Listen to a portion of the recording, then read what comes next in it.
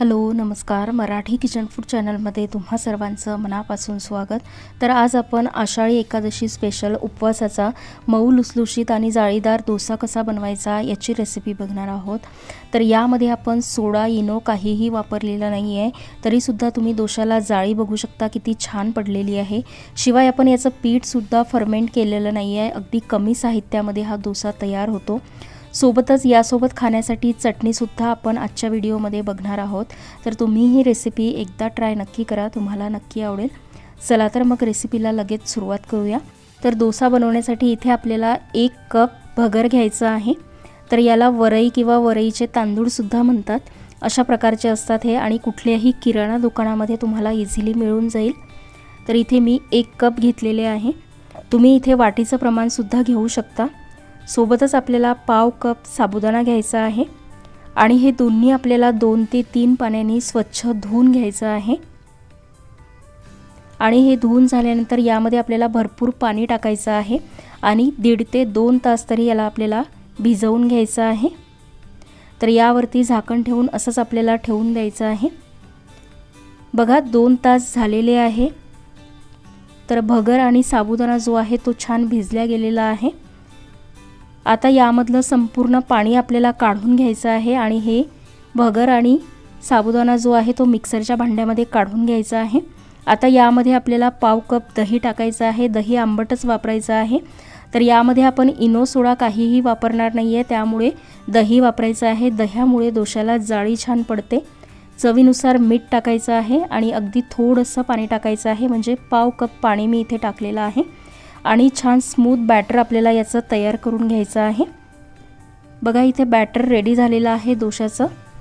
आता हे बॅटर आपल्याला एका बाऊलमध्ये काढून घ्यायचं आहे. आणि याला एक ते दोन मिनिटं आपल्याला चमच्याच्या साह्याने अशा प्रकारे फेटून घ्यायचं आहे. तर बघा बॅटर छान फेटून झालेलं आहे. बॅटरची कन्सिस्टन्सी तुम्ही बघू शकता. मीडियम कन्सिस्टन्सीमध्ये बॅटर आहे. एकदम पातळही नाही किंवा एकदम घट्टसुद्धा नाही. आता हे बॅटर पाच मिनटं आपण बाजूला ठेवून देऊया. तोपर्यंत यासाठी लागणारी चटणी बनवून घेऊया. त्यासाठी इथे अर्धा कप भाजलेले शेंगदाणे घेतलेले आहे. शेंगदाण्याची सालं काढून घेतलेली आहे. चवीनुसार मीठ टाकायचं आहे. दोन ते तीन लाल सुक्या मिरच्या टाकलेल्या आहे. या जागी तुम्ही हिरवी मिरचीसुद्धा वापरू शकता. पाव चमचा जिरे टाकलेला आहे. आणि पाव कप पाणी टाकून हे आपल्याला चटणी छान वाटून घ्यायची आहे. चटणी वाटून झालेली आहे. आता चटणीमध्ये आपल्याला तडका टाकायचा आहे. तर तेल गरम करून त्यामध्ये जिरे आणि हिरवी मिरची टाकून घे मी तडका तयार करून घेतलेला आहे. आता तडका आपल्याला चटणीवरती टाकून घ्यायचा आहे आणि व्यवस्थित मिक्स करून घ्यायचा आहे.